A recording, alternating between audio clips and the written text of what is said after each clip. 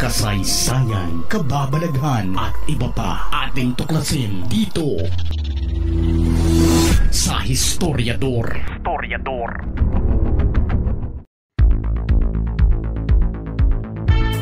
Kung krimen ang pag-uusapan, base sa statistics na ginawa ng mga kapulisan, ang tundo ang may pinakamataas na crime rate at least may isang patay kada isang linggo. Pagdating naman sa nagpapalusot ng mga ipinagbabawal na bisyo ay hindi rin mawawalan dito. Pero kung tutuusin, kahit saang parte ng bansa ay may mga kriminal at lugar na pinamumugaran ng mga halang ang mga bituka. Nagkataon lang siguro na ang tundo ang lugar kung saan nabuhay ang mga tumatak na mga kriminal at mga gangs na bumuhay talaga ng takot sa mga mamamayan. Isa na dito ang Sigi Sigi Gang kung maririnig mo ang grupong ito, iisipin mo, hindi ba't nasa kulungan sila? Kalaban ng iba pang grupo sa Manila City Jail? Tama nga naman na nasa kulungan ang napakarami sa kanila.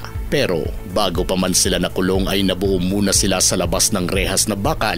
Pero dahil sa kanilang mga paglabag sa batas, naroon sila sa loob ng bilibid at naghihintay sa kanilang paglaya. Dalawang grupo ang sige-sige, ang Sputnik at ang komando pero walang asosasyon sa isa't isa ang dalawang grupo at mortal na mag-aaway pa ito. Sa loob ng Manila City Jail, ang Sputnik ang may pinakamaraming miyembro pero ipinagmamalaki din nila na marami silang mga kasamahan na nasa laya at alam nila ang mga kaganapan sa labas ng bilibid. Kaya nga raw Sputnik ang pangalan ng grupo nila dahil kinuha nila ito sa pangalan ng Russian satellite at maging sila rin daw ay kayang mag-espiya at malaman ng kahit ano kahit sila'y nasa loob ng kulungan.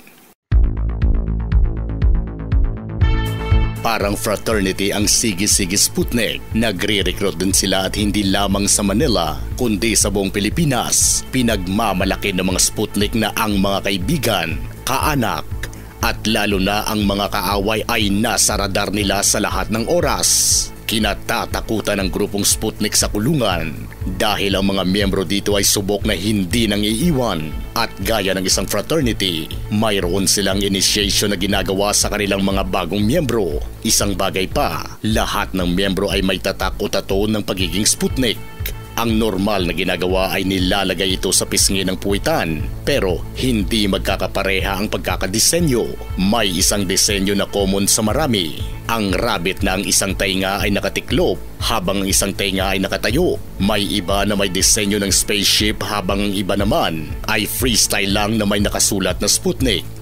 Maliban sa obvious na rason na tatak nila bilang miyembro ang mga tato, nagsisilbi din itong pagsubok ng kanilang loyalty sa grupo, lalo na sa loob ng kulungan. Napakainit ang sitwasyon sa loob dahil sa mga away ng mga grupo. May pagkakataon pa na nagkakaroon ng kasunduan ng dalawang magkakakompetensyang grupo. Sa rason na para lang maitumba ang isang Sputnik o grupo nila, ang OXO at ang komando ay aminado na automatic na nilang kasunduan na kapag ang kalaban ay Sputnik ay magkakaisa sila. May nangyari noong October 9, 2022 na nagrayot sa New Bilibid Prison kung saan ay may natodas na siyam na mga inmates. Ang riot ay dahil daw sa hindi pagrespeto sa isang miyembro ng Sige-Sige Sputnik na isang kasapi ng LGBTQ. Hindi na idinaan sa usapan at diretsyo ng nagtudasan at ibinasin na lamang sa mga tatak ang kanilang mga inatake. Dahil dito, nagsagawa ng Oplan Burat attack ang Bucor. Umasa ang Bucor na matitigil ang mga ganitong klaseng gulo sa kanilang isinagawang proyekto. Subalit, malayo sa katotohanan na matitigil ng dahil sa pagkabura ng tatak. Alam nila kung sino-sino ang mga miyembro nila Pwede lamang itong maging matagumpay sa mga bagong pasok na nag-iisip pa lamang na sumali sa grupo. May mga programa ang Bucor na ipinapatupad para ang atensyon ng preso ay matutok dito at hindi maisali sa anumang ilegal na gawain ng mga grupo sa loob ng bilibid. Kanya-kanyang mga ilegal na negosyo ang mga gang sa loob ng preso kahit na hindi dapat ay totoong mayroong mga preso na nagpapatakbo ng mga ilegal na bisyo na ibinibenta pa sa labas ng bilibid. Siguradong alam naman ito ng mga namamahala sa loob pero Nagagawan talaga ng paraan ng mga grupong nasa bilibid ang mapatakbo ng maayos ang kani-kanilang negosyo, organisado at sumusunod ang mga ito sa kanilang mga patakaran. Ang Sputnik ay sumusunod sa sampung kautusan na istriktong ipinapatupad sa loob ng munting lupa. Ito ay ang mga sumusunod.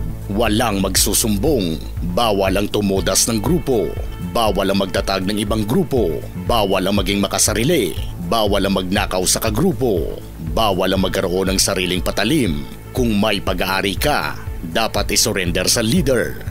Bawal ang gumawa ng kwento sa mga kagrupo. Sumunod sa inyong leader. Mahalin at igalang ang iyong tatak. At palaging mag-ingat. Ang sinumang hindi sumunod ay ililitis ng kanilang sariling mga wes at mga nakakatanda maliban sa pinakaunang utos. Ito ang pinakasagrado sa lahat at ang sinumang pumiyok at magsumbong ay agarang bibigyan ng parusang kamatayan. Kaya kahit mabura pa ang tatak ng isang miyembro at nagkamali ito, ay paniguradong mapaparusahan. Ang ibang mga grupo ay may kanya-kanya ring mga patakaran na hindi rin nalalayo sa nagawa ng Sputnik ang pagbuo ng karibal na grupo ay pinagbabawal din pero nangyari na ito noong 1963 kung kailan nabuo ang Sige-Sige Komando. Mga dating miyembro ito ng Sputnik na hindi naging masaya sa pagpapatakbo ng mga lider dito. Ito rin ang dahilan kung bakit mortal na mag-aaway ang dalawang grupo. Alam din ng mga miyembro ng komando na mas marami ang bilang ng Sputnik, lalo na sa loob kung kaya't naisipan nilang magkaroon ng peace treaty sa Okso. Malalim din ang ugat ng galit ng grupong Okso sa Sputnik na bumabalik pa sa unang mga miyembro ng grupo. May siyam na kasapi sila na brutal na tinodas sa mga Sputnik noong 1958 dahilan kung bakit ganoon kalaki ang galit nila. Pero maliban sa sampung kautusan, mayroong isang regulasyon na sinusunod ng mga miyembro. Ito ay ang pakikisama Importante ang pakikisama sa bawat isa. Kahit na may mga di pagkakaunawaan, ay kailangang ipag-isang tabi dahil hindi pwedeng mamuhay sila na magkaaway na nasa isang samahan. Ang kanilang pagiging tapat ang nagpapalakas sa grupo na kung minsan ay rason kung bakit humihingi ng tulong ang mga pulis sa kanila. Alam ng kapulisan na kilala nila ang mga miyembro ng kalaban ng grupo at ang mga nangyayari. Subalit, minsan din ay kapalit nito ay pabor na pangkaraniwan ay ibinibigay sa mga lider ng grupo. Isa na dito ang isang kontrobersya na kinasangkutan ng isang lider ng Sputnik na si Ricardo Chacha Kamata. Maraming opisyal ang nadawit pati na ang ibang trabahante sa klinika ng New Bilibid Prison dahil sa nangyari 2014 kung saan si Kamata ay dinala sa Metropolitan Medical Center sa Manila upang patingnan ang kalagayan nito. Di umano ay nagpatingin ito sa doktor ng bilibid na siya namang ginawa nila ng medical abstract si Kamata. Inilagay doon na may mga mas na namumuo sa liig ng preso na nagiging sanhi ng panghihina at ang pagbagsak ng katawan nito. Inaprobahan ang kanyang pagpapagamot sa nasabing ospital na nauwi sa pag-confine ng pasyente simula May 28 hanggang June 2. Wala sanang problema kung hindi nakuhanan sa CCTV na sa mga araw na nasa hospital si Kamata ay pinapapasok ng mga bantay ang isang starlet na nagangalang Krista Miller. Hindi lamang isang araw nangyari ito. Apat na araw na binisita ni Miller si Kamata simula at 30 ng Mayo hanggang a 2 ng Hunyo.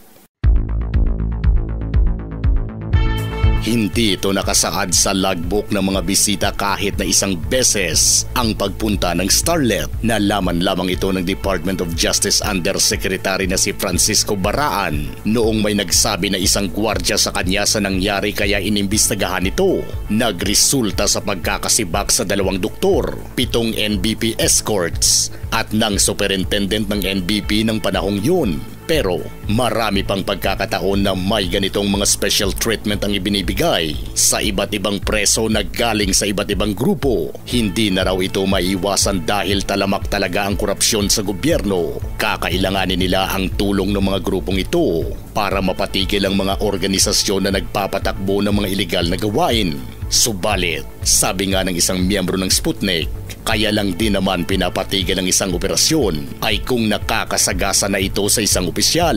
Kung sa kani-kanila lang daw na magkakaribal na grupo ay madali lang ang usapan. Kung hindi pwedeng pagpasensyahan ang pagkakamali ng isang kalaban ay didesisyonan kagad itong tudasin ang pagiging miyembro ng isang gang sa loob ng bilibid ay importante raw para hindi ka maging kawawa. Kung baguhan ka, ay ikaw ang gagawa sa mga nakakapagod na trabaho sa preso.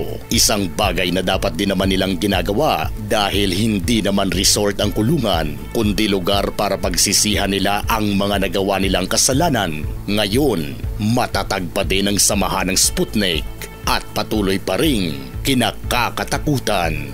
Ikaw, gusto mo bang maging miyembro ng sige-sige?